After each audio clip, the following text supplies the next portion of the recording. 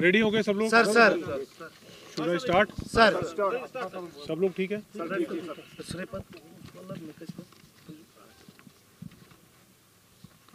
जैसा कि आप सब लोग वाकिफ़ हैं उनतीस मई ट्वेंटी नाइन्थ मई को रात के करीबन नौ, सवा नौ बजे अनंतनाग टाउन में जंगलात मंडी वाली साइड में एक टेररिस्ट अटैक जो है वो पेश आया था और उसमें एक उधमपुर के लोकल दीपू कुमार उर्फ़ दीपू उनका जो है इस टेररिस्ट एक्ट में उनका कत्ल किया गया था।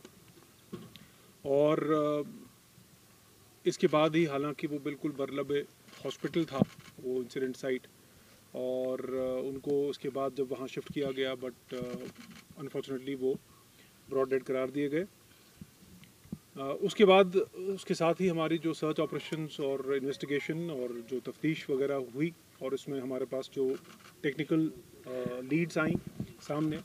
और उसके साथ साथ जो हमारी बाकी इन्वेस्टिगेशन हुई। उस इन्वेस्टिगेशन की बेसिस पे जो है अ, हमें कुछ क्लूज़ मिले और उस क्लूज़ के चलते हुए हम आगे बढ़े। इसी दौरान हमने कुछ सस्पेक्ट्स पे ज़ीरो इन किया और काफ़ी सारे और सस्पेक्ट्स को भी हमने उठाया और उनसे हमने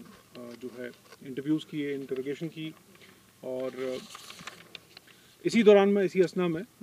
जो है हमारे पास दो इंडिविजुअल्स हैं दो पर्सनस हैं जो कि अनंतनाग टाउन के ही रहने वाले हैं, देवा कॉलोनी के। एक का नाम सहरान बशीर नदाफ है और दूसरे का नाम उबैद नज़ीर लाइगरू है। ये दोनों लड़के मिसिंग हो गए। हमारी इन्वेस्टिगेशन भी इन्हीं इंडिविजुअल्स की तरफ़ पॉइंट कर रही थी। और इनके लिए फिर एक लंबा चौड़ा जो है हमें एक सर्च ऑपरेशन लॉन्च करना पड़ा। जैसे जैसे हमारे पास और टेक्निकल क्लूज और बाकी ह्यूमन इंट की जो क्लूज हमारे सामने आए उस सबको साथ में लेते हुए ultimately we were able to arrest the accused and उसके बाद जो है पूरी कॉन्स्परेसी उसका खुलासा किया गया। इसमें काफ़ी टाइम हमें जो है वो लग गया प्रॉपरली पूरी चेन को कवर करने में कि किसने वेपन सप्लाई किया था और किसने रेकी की थी और कैसे उस पूरे वाक़े को अंजाम दिया गया था और कैसे उसमें प्रॉपर प्लानिंग के तहत प्रॉपर कॉन्स्परेसी के तहत जो है directions Pakistan based handler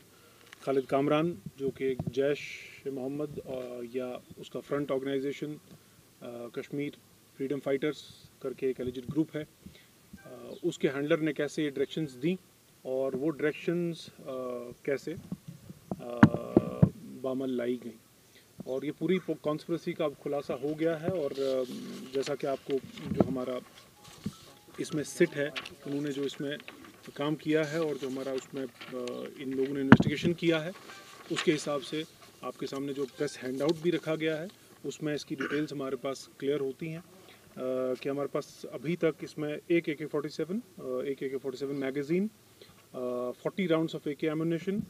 दो पिस्टल दो पिस्टल मैगज़ीन सात लाइव राउंड्स ऑफ़ पिस्टल्स सात एम्प्टी कार्ट्रिजेस तीन हैंड ग्रेनेड्स मोबाइल फ़ोन्स और एक स्कूटी जो है जो इस अ,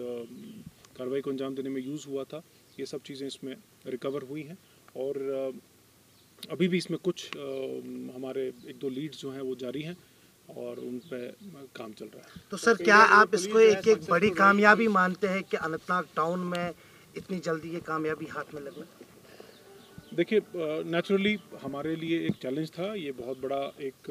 जो केस था, वो हमारे पास था। और जैसे कि आप जानते ही हैं कि इस तरह की जो माइनॉरिटी किलिंग हो रही है, उसमें